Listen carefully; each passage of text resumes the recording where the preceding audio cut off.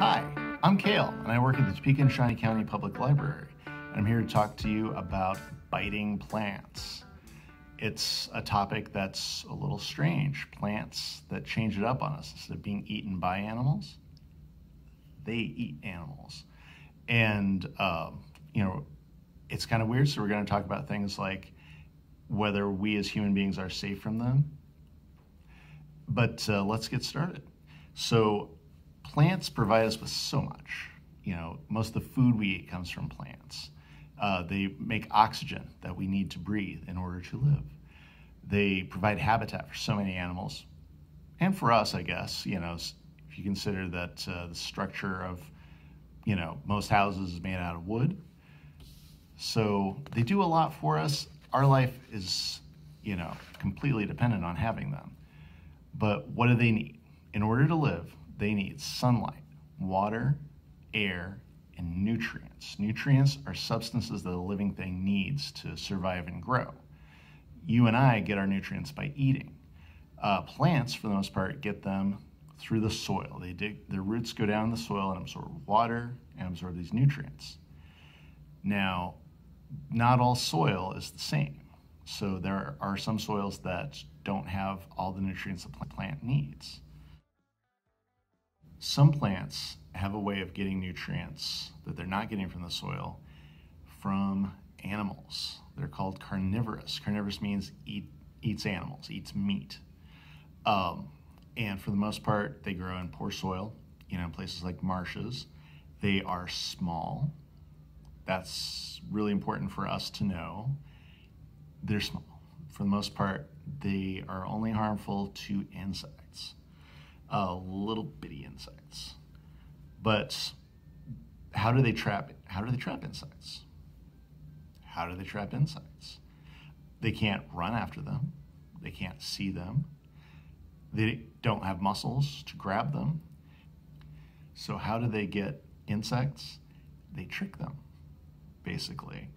They try to do some things that a flower does. If you've ever seen a bee around a flower, you'll see the bee buzzing in there and trying to get nectar. Nectar is a substance made by the flower that's very sweet and sugary, has nutrients that insects need. Um, so generally, you know, when a bug sees a something that's brightly colored and smells smells sweet, they'll think flower.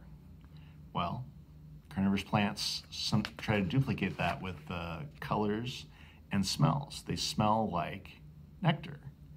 You know, we may not be able to smell, you know, smell that, but the ant, the insects can. So let's look at the most famous carnivorous plant of all, the Venus flytrap. What it does is it, you know, with its color and smell, it draws insects into its leaves that are shaped like traps. And there are these trigger hairs inside and once an insect brushes against two of those trigger hairs, the trap, the trap will close. The plant will pump water into cells in the outside of the trap that will cause them to expand and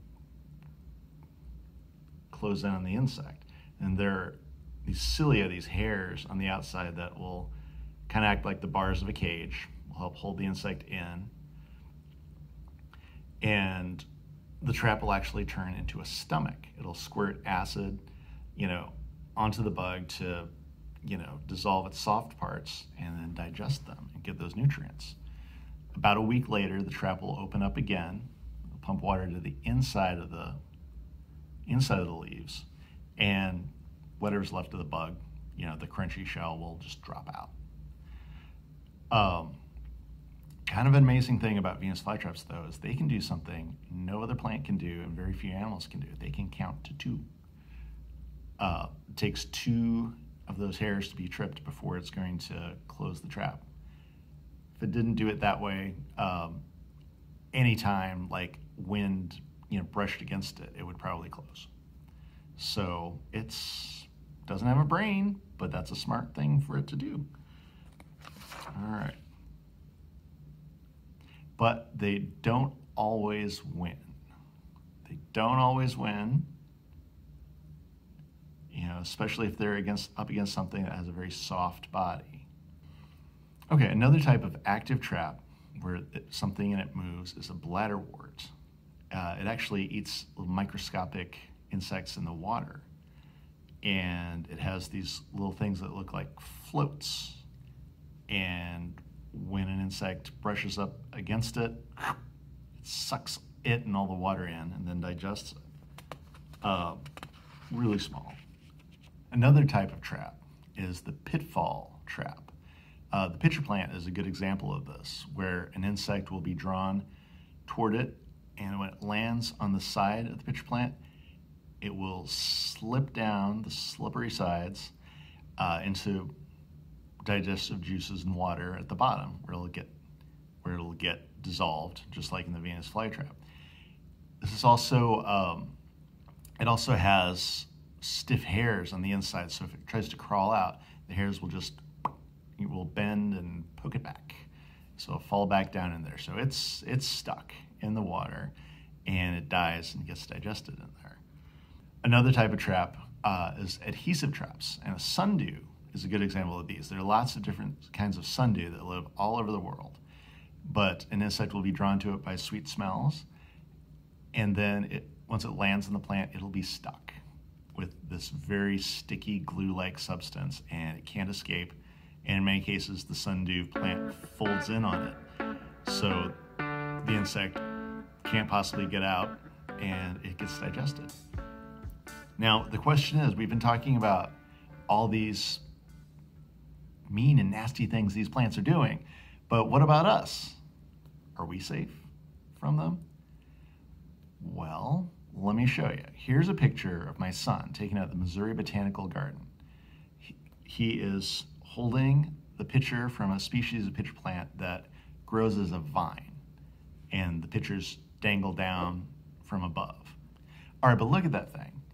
He's probably going to be able to fit his finger in there and all that. It's it can't eat a human being. The biggest pitcher plants have uh, traps the size of a milk jug. You know, again, that's not big enough for a person. You know, they have been known to trap you know things larger than insects like rats, uh, tarantulas, but as far as as far as we go, we are pretty safe.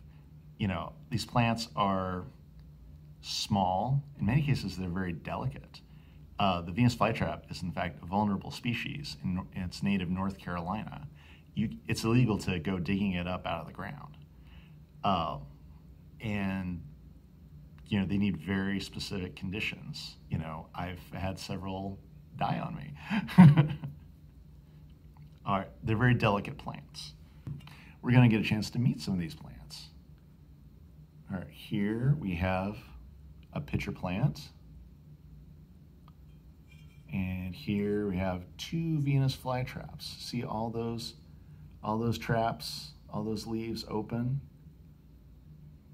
All right, see the trigger hairs? All right, we'll take some closer up pictures of these. But first, I say it's time to do a craft. Let me bring in my assistant.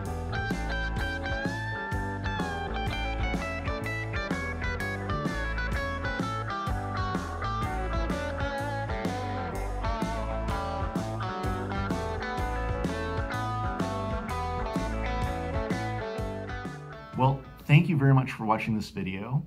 I hope you learned something about carnivorous plants. I hope you know that you as a human being are safe from them. Bye.